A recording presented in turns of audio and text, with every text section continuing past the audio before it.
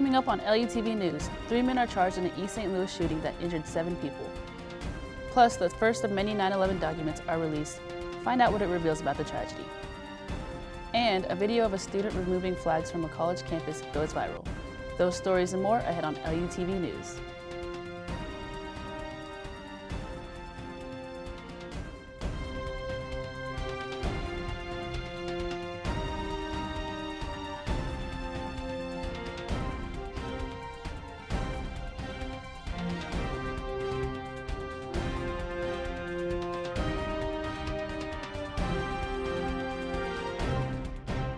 Welcome to this edition of LUTV News. I'm Selena Tuilaepa.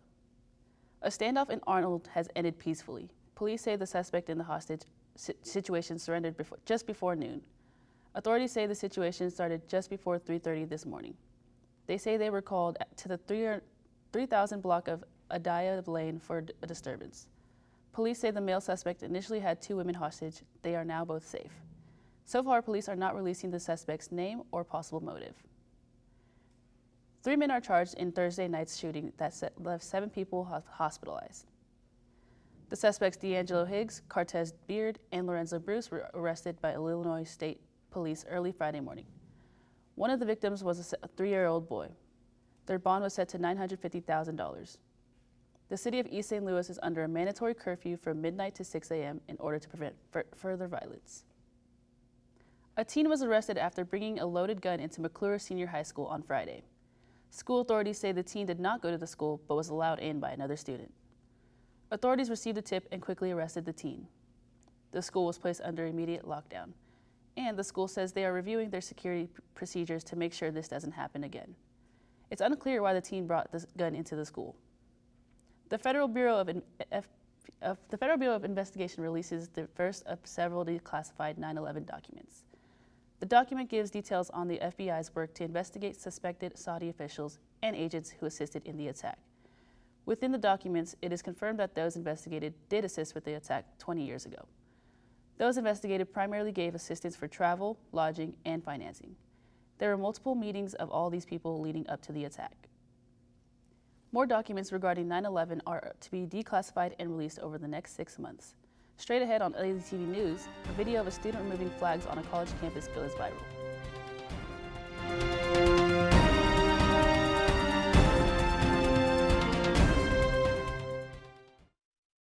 When I was in foster care, I never knew when I would have to move, so I always had my suitcase ready to go. Then one day, I was adopted. My new parents opened their hearts and home to me. My parents cook my favorite breakfast for me every morning. My parents take me on trips I never thought I would go on. They gave me a home and an even better reason to use that suitcase. My parents aren't perfect, but they're perfect for me. I'm Jennie Garth, and as a mother of three, I know kids worry about a lot of things. Getting enough food to eat shouldn't be one of them. But here in America, that is a real worry for one in five children. Even though we are one of the most food rich countries in the world, 15 million children don't know where their next meal is coming from. This is unacceptable and something the Feeding America nationwide network of food banks is working to solve. Instead of accepting that our country lets billions of pounds of surplus food go to waste every year, Feeding America has made it their mission to help families in need by rescuing this food. Through food pantries and meal programs, the nationwide network of food banks provides more than 3 billion meals serving virtually every community in the United States, including yours. Join me in supporting Feeding America and your local food bank by visiting feedingamerica.org. Together, we can solve hunger. Together, we're feeding America. What do you think you're doing, Kevin? I uh, was just gonna drive home. Ah, uh, uh, uh, there are several warning signs present that you shouldn't be driving. Like hearing voices? Like your text to emoji ratio? Oh man, the selfies. Selfies Nailed it. We all have warning signs that let us know that we're probably not okay to drive. Mine is pretending to be your subconscious. Craig, come on, man, let's put a ride home.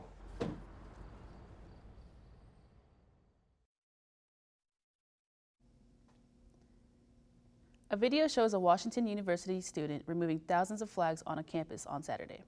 The group called the college Republicans placed nearly 3,000 flags on the Mudd Field lawn on Friday as a tribute to 9-11. The next day, a male student collected the flags and placed them in the large bag. The student left before campus police arrived, but the bags were later found. Within four hours, all the flags were planted, replanted. Hours later, the student went on social media saying, he had no intention of removing the flags from the Mudd Field area, and my full protest did not have the chance to be actualized. My planned protest was to place the bags of flags on Mudd Field along with various statistics explaining the human cost of 9-11. University officials condemn the student's actions but are not saying if he will face any disciplinary actions. Alton School District is seeing a rising number of students testing positive for COVID-19. The Alton School District suspended says last 20, last week 26 students and one staff member tested positive. The superintendent also says another 64 students are still in quarantine. The district says they are in process of implementing new safety measures to prevent the spread of COVID among its students. The school district received up to $33 million in pandemic funds to deal with COVID-19. The General Motors plant in Wentzville is, will be closed for an additional week. The shutdown was supposed to end on September 20th, but now extended for one more week. The cause of the shutdown is due to a computer chip shortage that also affected other industries nation nationwide. Wentzville's assembly plant is one of the three General Motor plants to be temporarily shuttered. More than 20,000 people came out to experience the third annual Taste of Black St. Louis last weekend. The City Foundry St. Louis hosted the event. It offered everything from food and entertainment to shopping. The Taste of Black St. Louis started with 45 vendors. Three years later, they are now up to about 90 vendors. Founder Aisha James says it's our mission to provide festival opportunities through accessibility, affordability, and sustainability. The final week of summer isn't letting up on the temperatures, so when will we see any relief this week? I'll let you know after the break.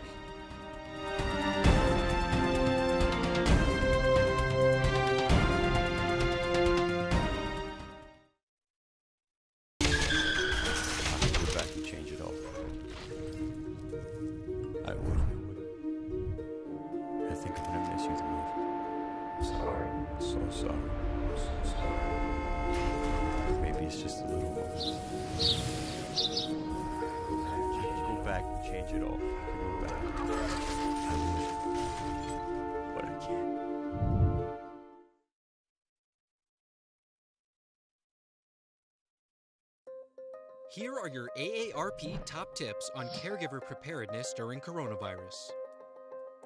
First, form a caregiving team. Create a list of people in your family and friend network who can help with caregiving tasks. Take an inventory of supplies in your loved one's home. Try to have a two week supply of essential items. Make a list of the care recipient's medications and medical contacts. Be sure to have prescriptions on hand and ask the pharmacist for an extra 30 day supply. Make a plan to stay connected. To prevent social isolation, set up available technology to help loved ones stay connected and schedule regular chats. Finally, maintain your own self care. Follow the Centers for Disease Control's guidelines for coronavirus safety. And have a backup plan for care in case you become ill. For more caregiving tips during the coronavirus pandemic, go to aarp.org slash caregiving. Meet the scan, a simple procedure whose mission is to detect lung cancer early.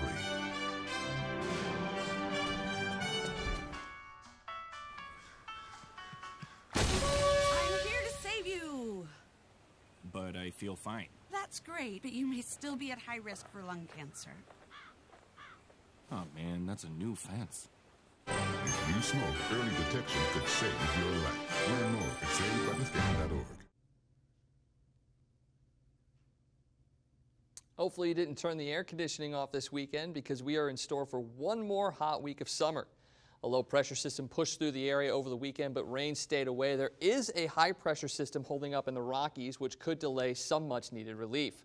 As we take a look around the viewing area, temperatures are holding steady across the board, clear skies and plenty of sun and 90 degrees in St. Louis and Maryland Heights, and across the river in St. Charles, St. Peters, and O'Fallon.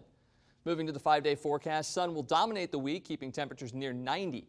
We have already hit the high of 90 Monday, and Tuesday we reach 90 again with a low of 72. Clouds drift in and cool things down Wednesday as the high reaches just 81. The sunshine returns Thursday as temperatures rise back into the high 80s. Highs on Thursday and Friday hit 84 and 88. The evenings do start to cool down considerably this week as they dip into the mid 60s starting Wednesday. For LUTV News, I'm Michael Wagenknecht. Back to you, Selena. Tropical Storm Nicholas is bringing along heavy storms to Texas and Louisiana areas. The Hurricane Center says Nicholas formed on Sunday in the Gulf of Mexico. The center says it could produce from 16 to 20 inches of rain across the coast of Texas and Louisiana. The NHC says Nicholas winds gusts are clocking in at 60 miles per hour and the storm is moving north at 12 miles per hour. The center says Nicholas ex is expected to straighten, strengthen until it reaches the northwest part of the Gulf Coast Monday night or early Tuesday morning.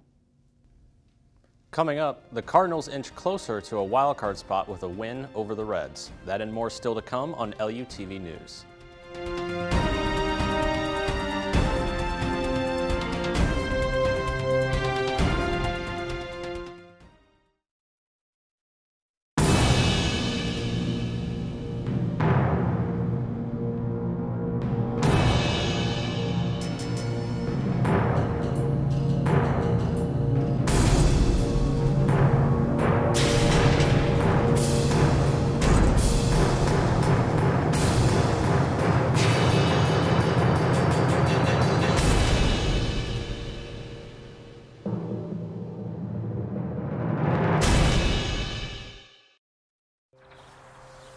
Certain things get reincarnated in your children.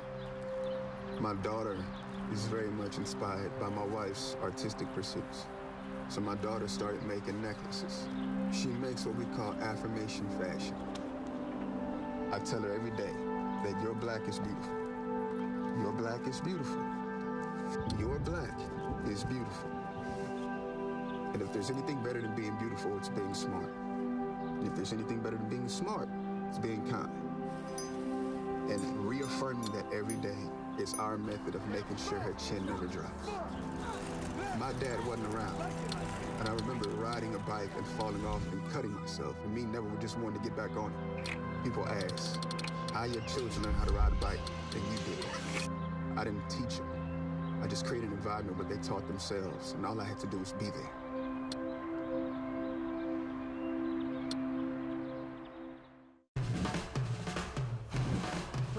Adopt a shelter pet, you discover their unique mix of all kinds of traits. Where'd Wiley go? Where's Wiley? Ah, there's you. Paw? Do you remember being an ancient wolf? You ever feel the call of the wild? You're a renegade cop, and I'm a con woman with nothing to prove. But together, we could really solve this murder. They're a little bit of a lot of things. But all of them are pure love.